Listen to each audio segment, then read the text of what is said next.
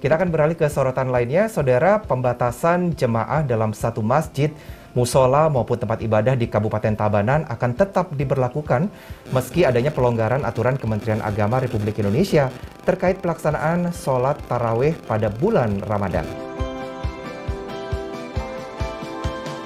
Sesuai dengan aturan yang dikeluarkan oleh pemerintah pusat, umat muslim di seluruh Indonesia kini telah diperbolehkan untuk melakukan salat tarawih berjamaah dengan syaf rapat atau tanpa jarak selama bulan Ramadan 2022.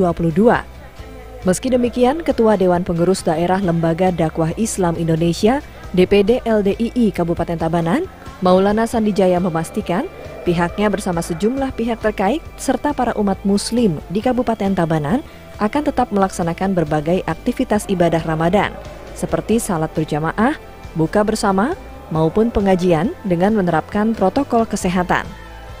Meski pelaksanaan salat tarawih tanpa jarak kini sudah diperbolehkan, pembatasan jamaah dalam satu masjid, musola, maupun tempat ibadah di Kabupaten Tabanan dipastikan akan tetap diberlakukan guna mengantisipasi munculnya klaster COVID-19.